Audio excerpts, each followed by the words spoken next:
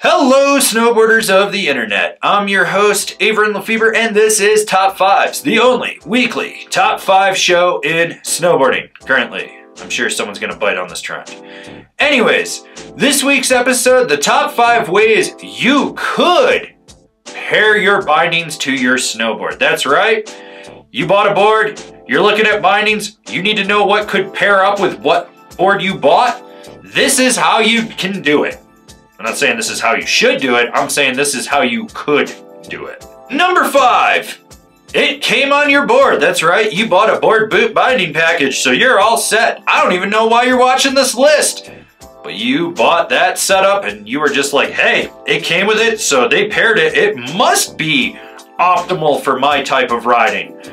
You did zero, zero research on this at all.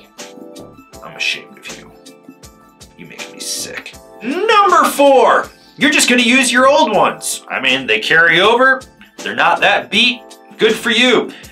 If they're like 30 years old and have some weird whack ass hole pattern, I don't know how you're gonna make that work, but more power to you for trying and bringing them into the shop and bitching that there's nothing compatible because they're still good. Newsflash, they're not good. The thermoplastics are bad. You're probably gonna explode and die. Now there's nothing wrong with carrying forward your old bindings to your new board, and I mean, hell, you're pretty much dealing with anywhere between two and four screws to get that to work. Just make sure the plastic's solid in them, make sure they're not bent, there's nothing weird going on, that everything still works. You're good. It means you're thrifty. Take the money that you saved and buy more lift tickets and ride more.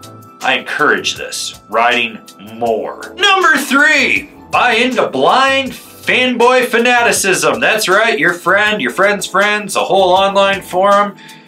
Someone just said, hey, this is the greatest thing on earth. You did zero research because you're like, well, they liked it, so you bought it. Might not match the board, it might match the board. You don't really care because now you've joined a cult. And now that you've joined a cult, you're gonna tell everyone else that they're the greatest thing on earth. Why? Because you bought them and you don't want to admit that you bought into them on fanboyism and you don't really like them. Or maybe you do, I don't really know. I, I don't know you. You think you know me, but you don't. You don't. Number two, listen to your favorite vlogger that only promotes what's given to them. It'll be the best binding they've ever used this year. Next year, they won't even mention it at all because someone else gave them something. But it doesn't matter. It's almost like fanboy fanaticism, except this is the straight word from the cult leader. And once again, you joined another cult. People keep joining cults. I have no idea why. Do you want to do you want to join my cult? Swing on over to Angry Snowboarder VIP. I'll take your money and tell you that your snowboard gear sucks. Just kidding. Or am I? I don't know. I might gaslight you a little bit. I'm that kind of cult leader.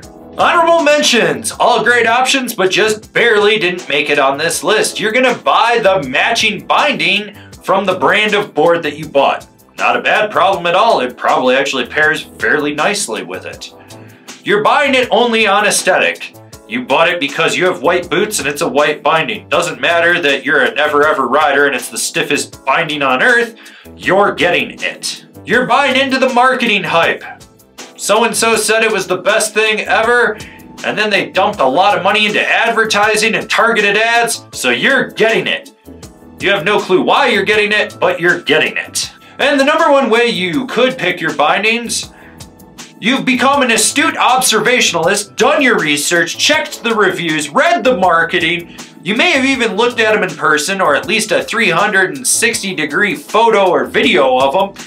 And now you're going to finally choose the right binding that matches your personal preference, your riding style, and the snowboard you're riding. Congratulations! You're not a mindless sheep. You haven't joined a cult. You haven't bought into marketing bullshit. I'm proud of you. Pat yourself on the back right there, big guy. Because you know what?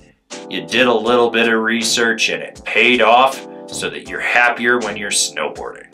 This has been my top five ways you could buy your snowboard bindings. Do you agree? Do you disagree? Did I forget one? Leave me a comment down below. Let's have a conversation about this list. If you're new here, Remember to subscribe, click the bell, get those notifications. That way you're not missing any of these videos we got coming out for all you snowboarders of the internet. And if you really like what we're doing over here and you want to join a cult, swing on over to Angry Snowboarder VIP and become a member. It's not a cult. Or is it? I don't really know. Anyways, I could tell you more here, but I got a video over there that explains it so much better. As always, I've been your host, Avran LeFeber, and I'll continue to be your host until Randy takes over the cult. And I'll see you in another video.